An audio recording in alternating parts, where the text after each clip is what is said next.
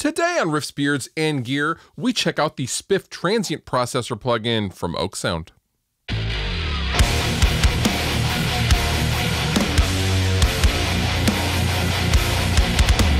So I recently did a video about a plugin called Soothe 2 from Oeksound, and while that is one of my favorite plugins, Soothe 2 kind of has a sibling plugin called Spiff. Now, Soothe deals with resonances, whereas Spiff primarily deals in transients, and we're going to kind of dive into Spiff today in this video.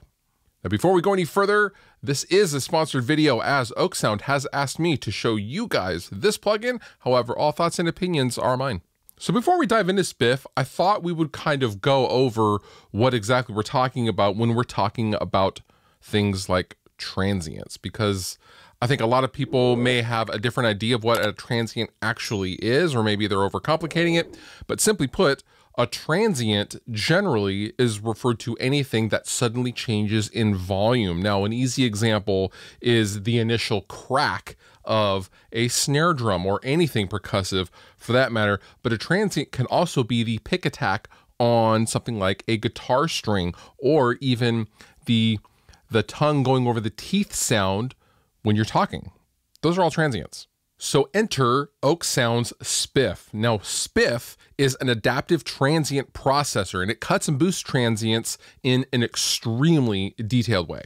Now, if I were to compare Spiff to other transient shapers and designers, I would say that Spiff analyzes the incoming signal and applies the processing only to that frequency area specifically and not to the whole thing, leaving the rest of your signal intact. It's only going to affect the things that you want to affect. Because we're going to be dealing with transients and critical listening, I would definitely not recommend watching this video without some sort of headphones or studio monitors. Don't uh, don't watch this on your phone, please. I mean, watch it on your phone, but like don't listen to it with your phone speakers. Okay, let's move on. So I have a mix here, and this is for a song called "This Holiday," which my band Dragged Under did uh, a year ago. Well, we recently re recorded it live at home instead of the traditional studio version for a holiday thing. And I got to mix and track the whole thing.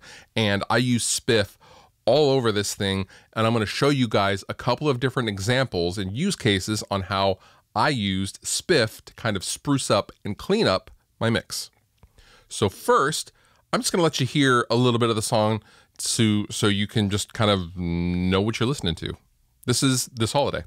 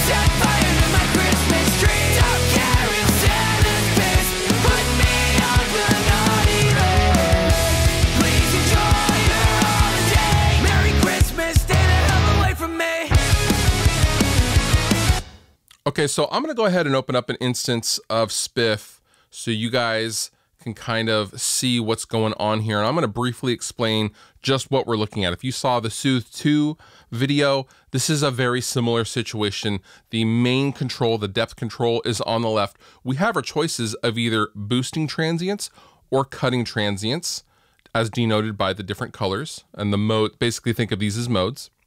We have a stereo mode, stereo link, balance. We have the advanced section as well. Typically, I'm not playing around in the advanced very much with the exception of the oversample. If I'm going to put spiff on an entire mix, I will mess with the oversample. However, generally speaking, I'm not really messing with the resolution, the oversample, phase mode, or anything like that. Uh, next down here is the mix. We have a trim. Now, this is where all the business happens, in my opinion. This delta lets you listen to what is actually, this is like the inverse of the effect of the plugin. This is actually letting you go behind the curtain and letting you hear what is being cut or boosted. And we'll, we'll get to that in a second. Uh, we also have the bypass button, which, as the, uh, the little note says, is a latency compensated and click free bypass. I love this bypass button. I didn't know it was possible to do that. So we have sensitivity, decay, uh, de decay, uh, low frequency, high frequency, and sharpness. Okay, so right now what we're looking at is this instance of Spiff is on the kick drum of Kalen's kit. I'm gonna go ahead and solo Kalen's drum kit, and his drum kit sounds like this.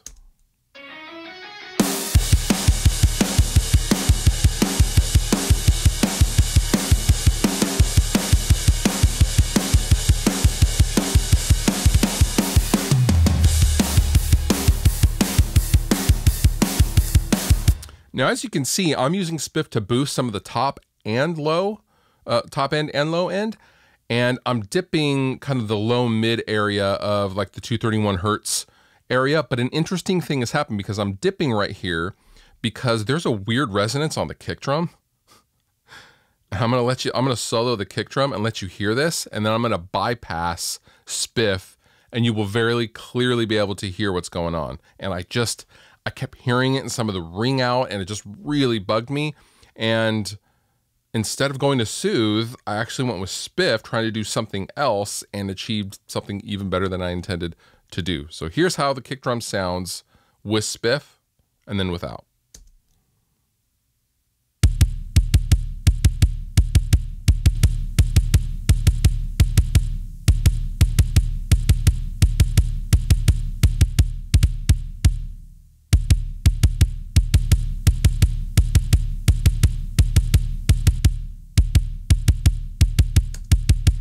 It's literally like in the in the drum sample that you hear, it's literally catching all of the uh, the other drums kind of resonating, and I'm taking that out with Spiff.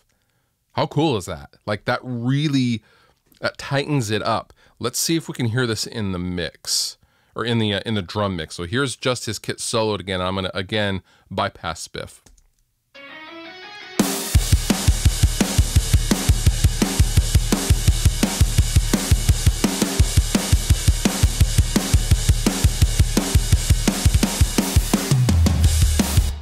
Um, if you're not wearing headphones or if YouTube has compressed this audio, uh, you probably can't hear that, but maybe you can. I can hear it in the mix. I'm wearing in ear monitors and I can hear this general uh, center channel kind of wash that kind of goes away when I introduce Spiff. This is a great use of Spiff, maybe unintended uh, at that. However, it's a great use. So, next, I want to talk about the acoustic guitar section. Here's the section we're going to be talking about. I'm going to play this for you briefly, and then we're going to dive in to the acoustic guitars because I really love what Spiff did on the acoustic guitars of the song.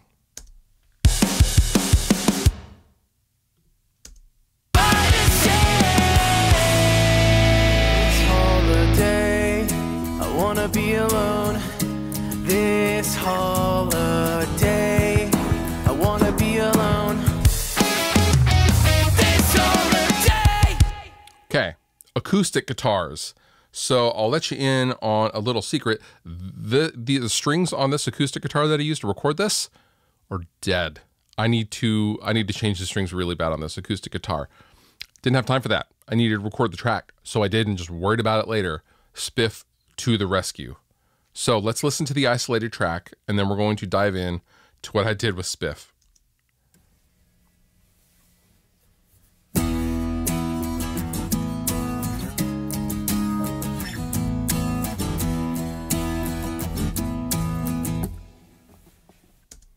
So as you can see, I'm using this once again to boost some frequencies. I'm boosting, I'm basically adding all the pick attack. so I have it at 100% stereo link, bounces at 100%.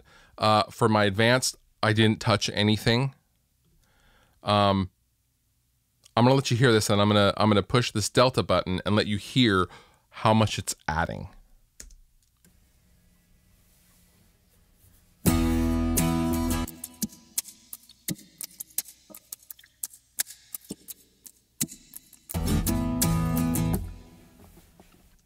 It sounds like water, doesn't it? It's I I love that sound. I want my ringtone to be that. So I'm gonna play this in context and bypass spiff, and you will be able to hear how dead the guitar is. Check this out.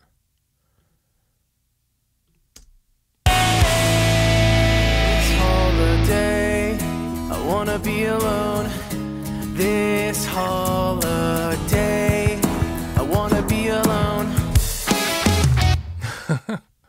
The acoustic, acoustic guitar is so dead. It's hilarious. I heard back and I was like, mm, maybe I should have changed the strings. Again, Spiff to the rescue. I love this plugin. It's adding, it's just adding all basically all the pick attack that I would want in a very nice musical way to the acoustic guitar track. Now, along with this same part, we have Tony's vocal. Now, Tony's vocal, um, because it was a pretty naked sounding part, it's just the vocal and the guitar. Uh, he had a lot of um, he had a lot of mouth action going on. Let's go ahead and solo just the track. I'm going to uh, leave Spiff up and I'm going to cycle between these so you can hear his vocal. This holiday, I wanna be alone. This holiday. I'm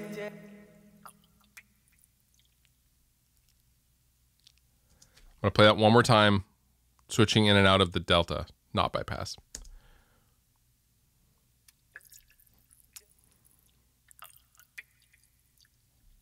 This holiday, I wanna be alone. that sound gross? That's what's being removed with Spiff. Now, this is one of the times that I'm not boosting. I am cutting quite a bit, actually. I mean, I'm at six. I have this thing cranked. One more time. This holiday, I wanna be alone. This holiday.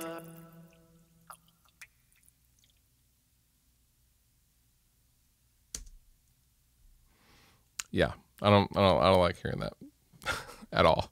So uh, once again, Spiff to the rescue with the very intimate sounding vocal with Tony. Now, another instance of Spiff when it came to making things cut in the middle of the song, I have some jingles, just like I did in the intro of the song. Uh, let me find those. Those are right here. Check this out.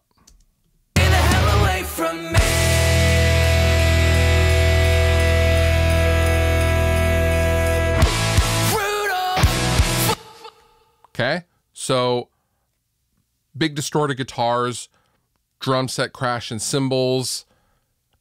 How do I get those to cut? So I use Spiff and I am cranking the crap out of the jingle bells. So I'm going to play back the track. I'm going to bypass Spiff on and off, and you can hear how the bells just kind of they get swallowed up with the mix as they would. I'm going to start with it bypassed and then turn it on.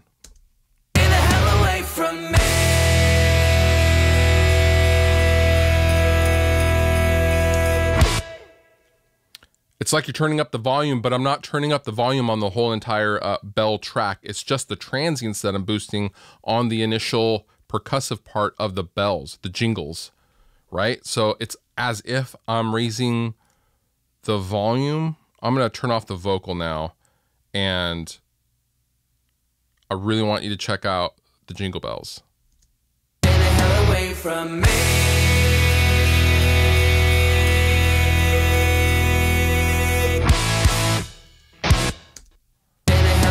From me.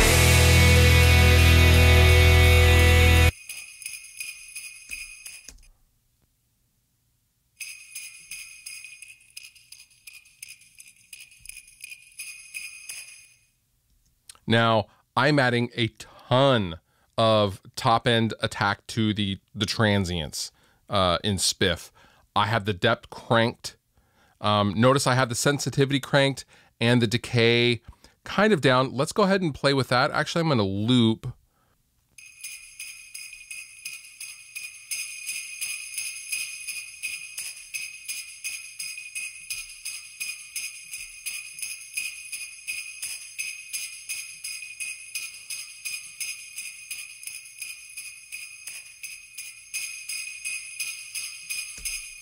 Because these are such short attacks, I have the decay pretty cranked. So it's a slower decay. The the lower I have the decay, the faster it's gonna go away, but it's not enough. So it makes it makes it kind of jumpy. Doesn't make it cut.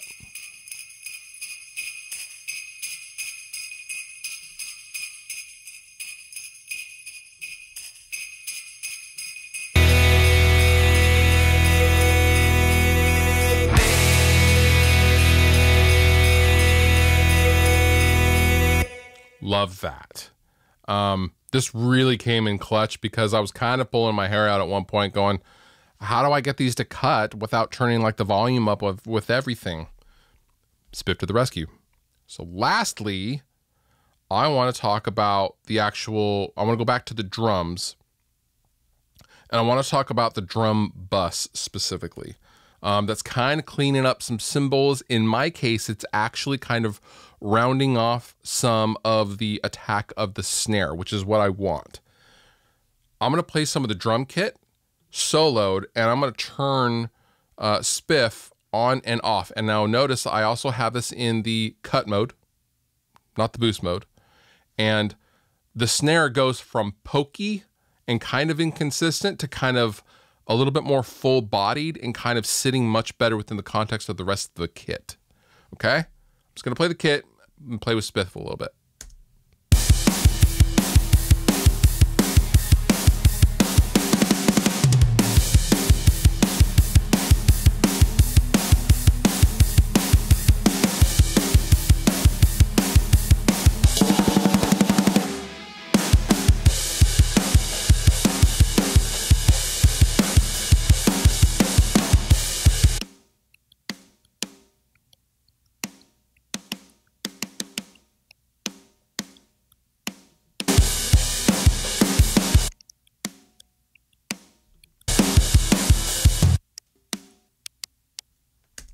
It's actually doing a lot to the snare drum, a little bit to the cymbals and the overheads, but mainly it's affecting that topmost end of the snare.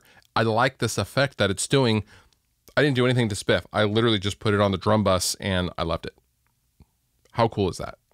Okay, so what have we learned with spiff? Well, spiff can either be a tool to fix or a tool to create honestly, you could put this on a bunch of different things and take, you know, you can make a bass that was uh, picked sound finger picked.